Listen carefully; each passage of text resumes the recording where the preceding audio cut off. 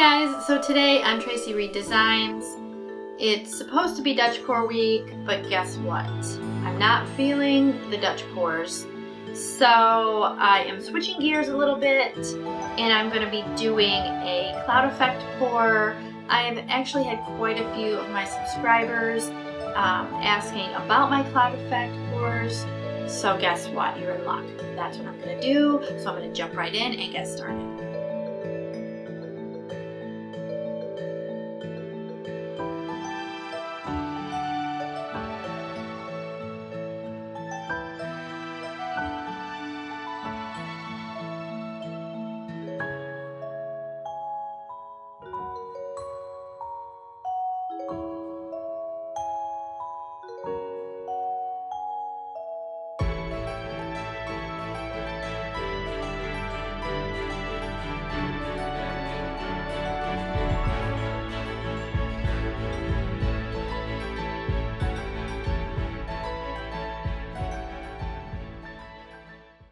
Okay everybody, so I am working on an 11 by 14 oval canvas and I have all my colors right here.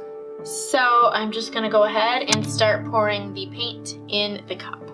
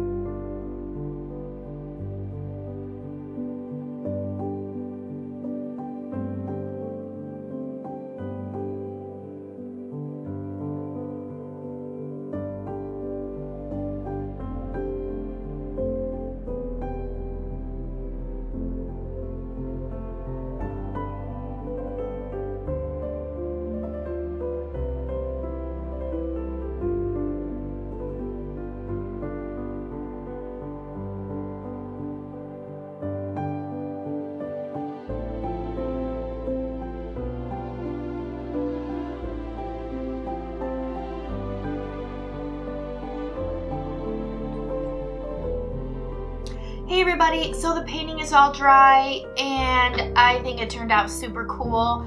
I love the lines, the uh, cells that I got, and also the cool cloud effect look. So let me know what you guys think in the comments.